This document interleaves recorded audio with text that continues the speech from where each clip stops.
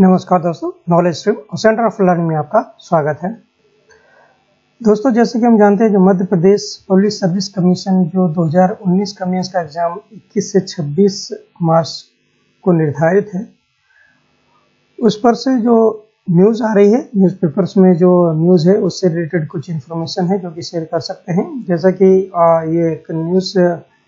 Cutting है जो कि इंडिकेट कर रहा है कि जो अभी एग्ज़ाम होना तय है, इक्कीस से छब्बीस मार्च के बीच में। उसमें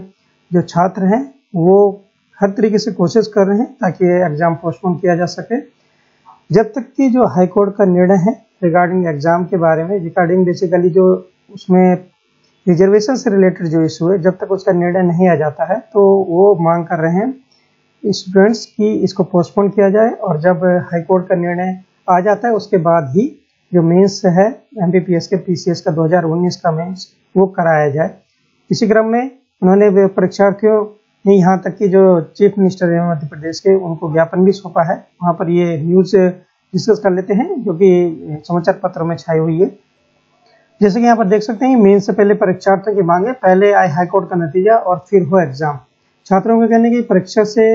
के रिज़ल्ट में आरक्षण प्रक्रिया का पालन नहीं किया गया, जिसकी वजह से प्रीलिम के रिज़ल्ट में तेरह परसेंट आरक्षण दिया गया, जो कि वैधानिक नहीं वैधानिक नहीं है। Madhya Pradesh public service commission के साल 2020 की मेंस परीक्षा इस महीने के अंत में आयोजित होनी, जो कि 21 से 26 मार्च तक शेड्यूल है। बेसिकली ये 2019 का मेंस होना है, जो 2021 में हो रहा है, लेकिन उससे पहले मेंस की परीक्षा में शामिल होने विद्यार्थी इंदौर स्थित लोक सेवा आयोग के दफ्तर के बाद धरना प्रदर्शन किया और परीक्षा तारीखों को कोर्ट के फैसले के बाद करने का इसमें उन्होंने बात कही है।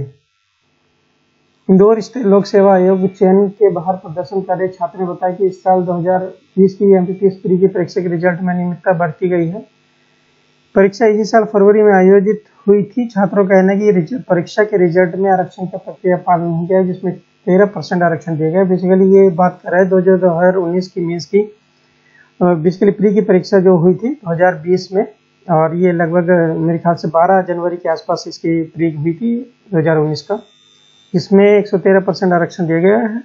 आरक्षण प्रक्रिया को लेकर छात्रों की याचिका मध्य प्रदेश के जयपुर हाईकोर्ट के साथ साथ ही ग्वालियर, इंदौर हाईकोर्ट की खंडपीठ में दायर की गई इसे लेकर कोर्ट में सुनवाई अभी जारी है। छात्र मांग कर रहे हैं जब तक ये हाईकोर्ट का फैसला पूरी नहीं हो जाता, तब तक इसको सस्पेंड किया जाए, और जब ये कोर्ट का फैसला आ जाए, तभी